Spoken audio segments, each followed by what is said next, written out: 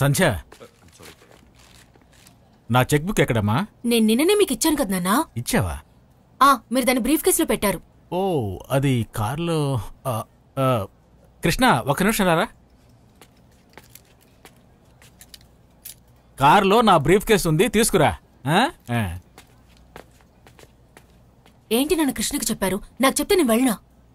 తెలిసిన అబ్బాయే కదమ్మా తప్పుగా అనుకోలే ఏంటి నువ్వు? What's wrong in this thank you me owner ఓనర్ని నేను అడిగానని చెప్పు. ఓకే? బాయ్.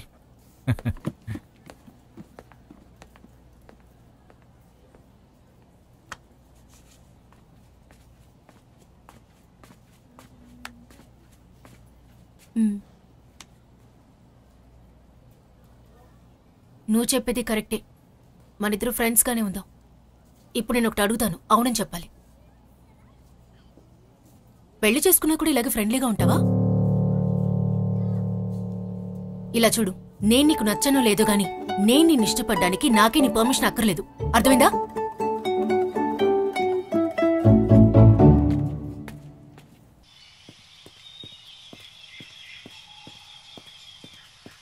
అరే మనుషులు నడిచే దారిలో ఇంత పెద్ద రాయి పాడేశారు?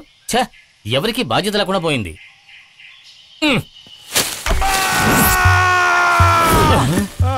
అరే వీడా? సరే ఏదో ఒకటి మాట్లాడి కన్ఫ్యూజ్ చేశారు.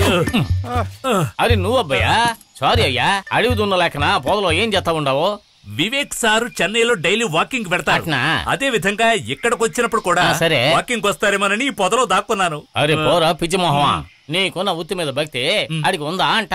చూడబోయా నువ్వు ఈ ఊరొచ్చి చెత్త కత్తి కుక్క లెక్కన బురద గుంటలో దొల్లే పంది లెక్కన నాలుగు రోజులు పేడైన ఆవు లెక్కన గోళ్ళ మీద ఉన్న పోసలు తినే గాడిద లెక్కన అరే కోట్ర కొట్టిన కోతి చాలు ఇప్పుడే వెనకాల కాస్త తోక మొలిచినట్టు ఉంది సార్. వెనకే కదా మొలిచేది? వదిలే.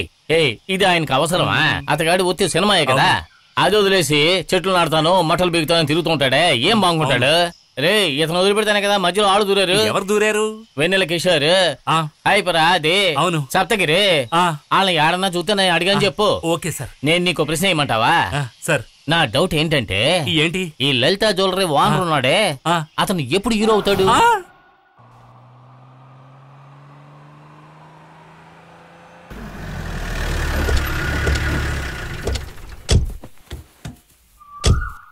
ఏంటి కృష్ణ పశువుల్ని మేపే చోటికి తీసుకొచ్చావు? అవును నేను ఊరికెళ్తున్నాను ఊరికే పంపించగలమా? అందుకే చిన్న ఫేర్వెల్ పార్టీ పార్టీ అంటే ఫుల్ తేవాలి కదరా? ఒట్టి చేతులతో వచ్చారేంటి?